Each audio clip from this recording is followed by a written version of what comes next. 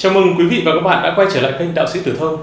Thưa quý vị, đôi khi thì dựa vào năm tháng ngày giờ sinh thì chúng ta sẽ biết được là cái số mệnh của một con người. Đó, nhưng mà gì? Khi dựa vào cái tháng sinh thì một phần chúng ta đoán được những cái người mà người đó thì là tốt hay xấu ra sao đúng không ạ? Và trong video ngày hôm nay tôi sẽ chia sẻ cho quý vị và các bạn về những tháng sinh cực xấu, tháng cực xấu. Tháng sinh cực xấu mà những ai phạm phải thì dễ gặp cái chuyện là gì? Cô đơn lẻ bóng và thậm chí là dẫn đến mất mạng. Đó. Đó là gì? Đó là những người sinh vào những tháng gặp cô thần và quả tú. Đấy, cô thần hoặc quả tú là một trong hai cái cái bộ sao xấu trong cái cái lá số tử vi. Đó. Nó cho thấy rằng gì? Những cái người gặp về cái cô thần quả tú ấy, thì gặp nhiều cái vận hạn xấu xa. Đó. Về cô thần ấy, thì cô thần có nghĩa là gì? Là cô độc. Là tính đơn độc do gì? Do chính cái cá nhân của mình tạo ra. Từ cái tính cách từ cái lối sống từ cái suy nghĩ và cái cảm xúc của mình cho dù có sống với ai và sống ở đâu thì luôn có cái cảm giác là cô đơn và cái cảm giác đơn độc bao phủ. Đấy. và không bao giờ những người mà gặp sau cái, cái sau cô thần ấy, thì có thể tìm được cái sự đồng điệu cái sự vui vẻ và thực sự vui vẻ với bất kỳ ai. Những người có cô thần thì luôn cảm thấy là gì? Những người xung quanh không phù hợp với mình. Đó. Chữ cô trong cô thần là sự co lại là sự đóng lại thu lại giữ lại và thắt chặt lại. Vì vậy gì khó có thể đồng điệu với những người khác họ là những người thường là thích đơn lẻ cô độc và đứng riêng một mình, đứng chưa chọn một mình và không cần gì có bất kỳ ai bên cạnh. Đó là về về về về về về cô thần đúng không ạ? Tiếp theo là chúng ta xét đến phần thứ hai, gọi là sao quả tú đúng không ạ? Còn quả tú là những người ít vui vẻ, là hình ảnh của những người thì có vẻ là buồn giàu. Đấy, không vui vẻ, buồn giàu. Cùng với tính chất là đơn độc, nhưng mà quả tú thì thường do ảnh hưởng bởi cái hoàn cảnh bên ngoài tạo ra. Nếu như cô thần là tự bản thân mình cắn đơn độc, nhưng quả tú là từ cái ngoại cảnh bên ngoài nó tác động vào đó. Cho dù bản thân không muốn có cái sự đơn độc đó nhưng mà dễ lâm vào cái tình trạng là đơn độc và bị hao tổn. Ví dụ như là bị quá bụa này mất con bị xa lánh bị hàng xóm láng giềng không thân thiết hoặc là gì bị uh, hàng xóm láng giềng à, là dạng cô thần hoặc là gì ở những nơi cái nơi vắng vẻ. Đó. Quá tú là cái sự cô đơn và mang nhiều cái sự buồn rầu lặng lẽ. Thường họ thường là những người ưu tư một mình. Những người quả tú ít khó tính hơn là những người có cô thần nhưng mà cũng khó làm cho họ được vui vẻ. Đó. Đó là về cô thần và quả tú. Vậy chi là gì? Những người sinh vào tháng nào thì sẽ gặp cái cái cái sao cô thần quả tú này và trở nên là gì? Bi thương nặng nề trong cái cuộc sống. Thì xin mời quý vị và các bạn cùng theo dõi và cùng trải nghiệm để biết được cái gì mình có bị phạm vào những cái sao xấu được không? Đó. Thì để tính vào cái cô thần quả tú thì chúng ta cũng dựa vào thiên can địa chi ngày tháng năm sinh để chúng ta tính, đúng không ạ? Thì đầu tiên là chúng ta dựa vào địa chi. À, địa chi chúng ta có 12 địa chi và gì? Phân ra là nam và nữ. Đấy.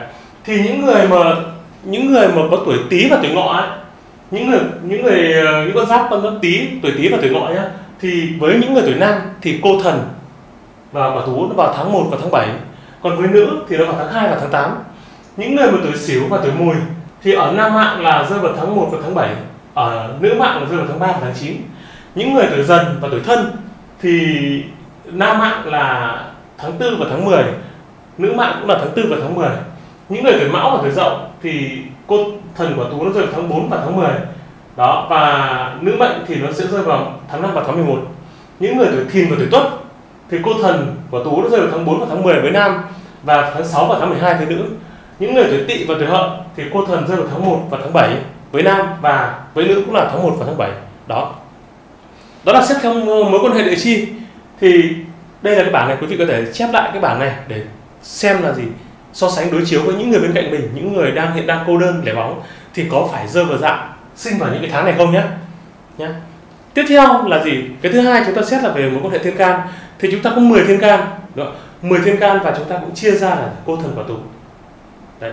thì với, chúng ta bắt đầu xét về mối quan hệ thiên can này thì cô thần quả tú ấy thì với những người mà sinh vào can giáp đúng không ạ? Can giáp thì cô thần nó sẽ rơi vào tháng 1 để tháng 1 là cô thần và tháng 9 sẽ rơi vào quả tú Đấy. những người có thiên can là ất thì tháng 4 là cô thần tháng 11 là quả tú những người có thiên can bính đấy, thì tháng 4 là cô thần và tháng 12 là quả tú những người có thiên can đinh ví dụ là đinh dậu đinh mùi đinh ờ, đinh hợi hoặc là đinh xỉu đấy thì nếu mà điểm vào tháng 7 thì là cô thần và tháng 12 thì là quả tú những người có thiên can mậu ví dụ là mậu thìn mậu tuất mậu tý mậu ngọ mậu thân đấy thì sinh vào tháng riêng à, sinh vào tháng 7 thì là cô thần và tháng 3 thì là quả tú. Những người có thiên can kỷ ví dụ như là kỷ xíu, kỷ mùi kỷ dậu đấy, kỷ hợi đó kỷ xíu, vân vân đấy thì tháng 10 thì sẽ là gì? Tháng 10 sẽ là cô thần và tháng 3 sẽ là quả tú. Những người sinh vào có thiên can canh ấy ví dụ như canh thân canh ngọ canh tý canh thìn đấy, canh tuất vân vân đấy thì những người đó mà sinh vào tháng 10 thì là gì? Là cô thần và tháng 3 thì là quả tú. Tiếp theo là những người có thiên can tân nghĩa tân mão tân dậu tân hợi tân mùi tân sửu và gì? À, tân tỵ đấy. Thì sinh vào tháng 10 thì là cô thần và tháng 6 thì là quả tú. Đó. tiếp theo là những người có thiên can là nhâm ví dụ như là nhâm tý nhâm dần nhâm uh, thìn nhâm ngọ nhâm thân và nhâm tuất. Đấy. thì là gì? Tháng 10 là cô thần và tháng 6 là quả tú và cuối cùng chúng ta có thiên cân quý. Thiên cân quý thì chúng ta có gì?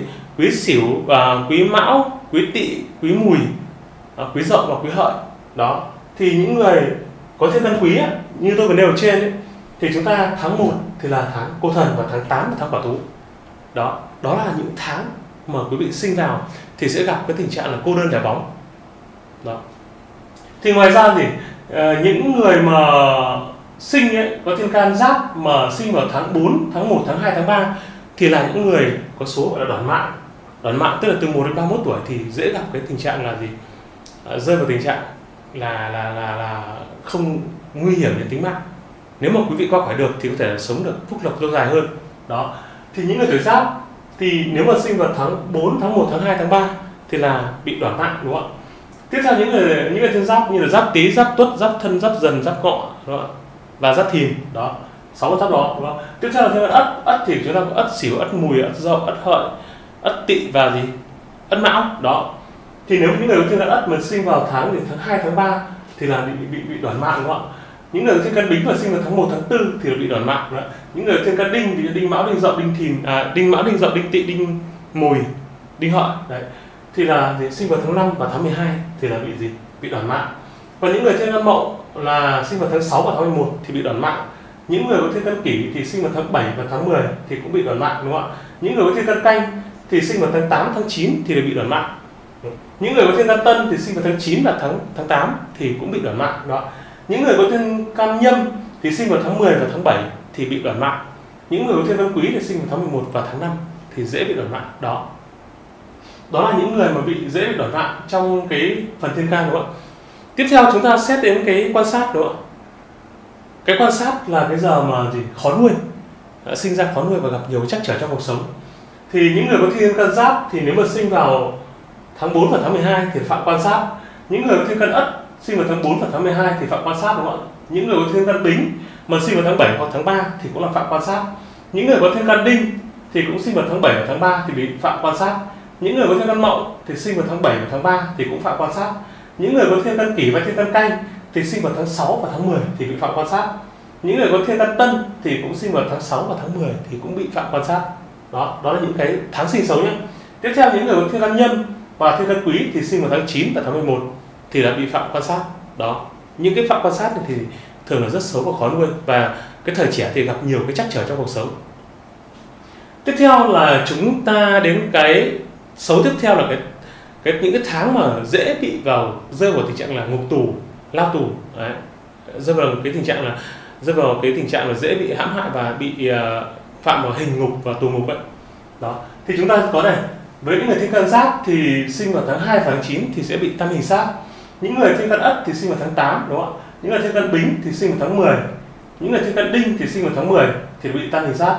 Những người thiên can mậu sinh vào tháng 9 thì bị tam hình sát này những người thiên can kỷ thì sinh vào tháng tháng 12 thì bị tăng hình sát những người có thiên can canh sinh vào tháng riêng thì dễ bị tăng hình sát đúng không ạ? Những người có thiên can tân sinh vào tháng 8 thì dễ bị tăng hình sát những người có thiên can nhâm thì sinh vào tháng 6 và cuối cùng là thiên can quý sinh vào tháng 10 thì dễ là bị gì?